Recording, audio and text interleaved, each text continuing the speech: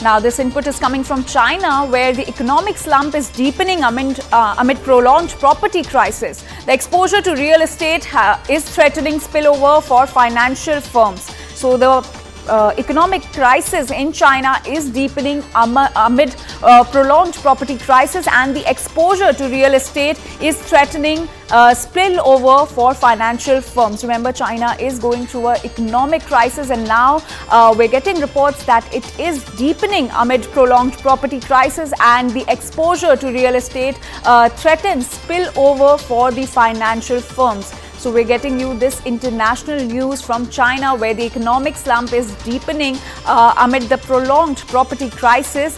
And uh, remember, China is going through uh, an economic crisis and uh, now the exposure to real estate is threatening spillover for the financial firms. So we're getting you this news from China, which is currently facing economic crisis and we're getting reports that the crisis is only deepening amid prolonged property crisis and this uh, is uh, exposure to and the exposure to real estate is threatening spillover for the financial firms. Uh, in fact, missed payments on investment products by a leading Chinese trust firm and a fall in home prices uh, have added to the worries that China's deepening property sector crisis is stifling and uh, uh, it, it is stifling what little momentum has in the is left in the Chinese economy. We have CNN News 18 Siddhant Mishra joining us on this story. Siddhant, a very good morning to you. Could you tell us more about this uh, real estate sector crisis that is uh, uh, going on in China?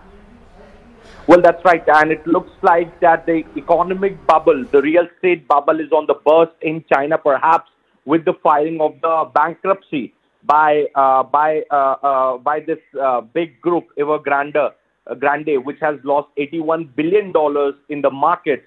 You know, it, uh, there is a series of real estate companies defaulting on their loans in China, and and this looks uh, bad for the Chinese uh, economy because uh, you know uh, every country has faced has perhaps witnessed this situation where real estate market breaks down or, or, or there is a collapse in the entire system. But China is still an emerging economy, and if it, it is happening right now, it's a matter of concern for Xi Jinping and his government. At the same time, uh, uh, uh, uh at the same time, uh, you know, uh, the unemployment rate is all-time high, and it has hit a record of 21.3% in June. You know, China has has has got a lot of China has made lot of promises in the past with regard to the economy, but this particular development is something which should worry the uh, the communist government, communist regime uh, in China, and perhaps the bankruptcy uh, of this real estate company has been filed uh, uh, in the courts in U.S.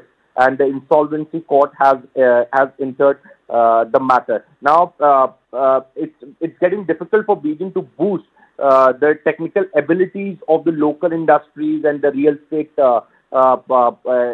real estate companies that they have and perhaps you know, the prices of the real estate projects are falling with each passing day. The government is taking measures uh, to boost the economy by perhaps uh, you know um, uh, uh, uh by perhaps providing more currency in the market. But it looks like that none of these these techniques are working in favor of the government. And and since it is coming at a time when China is an emerging economy, perhaps World Bank calls China upper income middle country.